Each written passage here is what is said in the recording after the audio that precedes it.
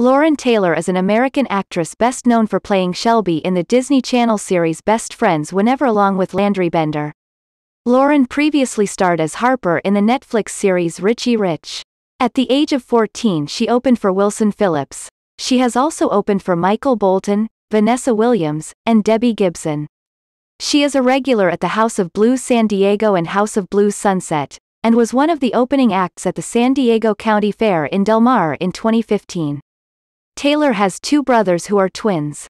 She lives with her mother and brothers in Southern California.